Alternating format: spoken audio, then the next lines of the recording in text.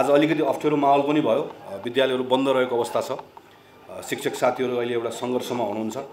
हामी अहिले आज सम्भवतः नेपाल सरकार र उहाँहरूको बिचमा संवाद पनि चलिरहेको छ। केही सकारात्मक निष्कर्ष आउँछ भन्ने हाम्रो अपेक्षा छ। हामी लामो समयदेखि नेपालको एजुकेसनको सुधार गर्ने विषयको सन्दर्भमा हामी के भनिरहेका थियौँ भने यो धेरै पहिला आइसक्नु पर्ने थियो।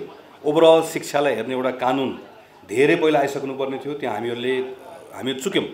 र धेरै वर्षपछि एउटा कानुन आएको छ। त्यो कानुन मैले कानुन म कानुन निर्माता ल मेकर भएर काम गरिरहेको छु सांसद हुँ म। त्यो प्रथम दृष्टिमा हेर्दाखेरि नै त्यसमा सयौँ त्रुटि छ। मैले मात्रै त्यो यो विधेयकमा अहिले संशोधन हाल्न सुरु भएपछि मैले मात्रै हाल्ने संशोधन मैले अस्ति सरस्वती हेर्दै गर्दा सत्तरीवटा भन्दा बढी संशोधन त मैले एक्लैले हाल्ने रहेछु भनेपछि कतिवटा त्रुटिहरू होला यसमा। यसको यावत त्रुटिहरू छ।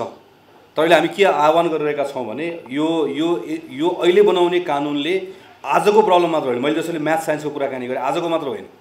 आज बन्ने शिक्षाको कानुनले कम्तीमा बिस वर्षसम्म यसलाई हेर्न सक्ने गरिकन हाम्रो अहिले कानुन बन्नुपर्ने छ यो कानुन बन्दै गर्दा हामीले संविधानलाई पनि केन्द्रमा राख्नुपर्ने छ। र सबभन्दा ठुलो कुरा शिक्षकहरूको आत्मसम्मान शिक्षकहरूको मर्यादा अहिले हामी सोचिँदा हामी कुराकानी गरिरहेका थियौँ। नेपालमा एजुकेसनको सुधार गर्ने कुराको पहिलो खुड्किला केलाई बनाउनुपर्छ भनेर भन्यो भने नेपालमा सबभन्दा हाइएस्ट पे हुने जब शिक्षकको हुनुपर्छ।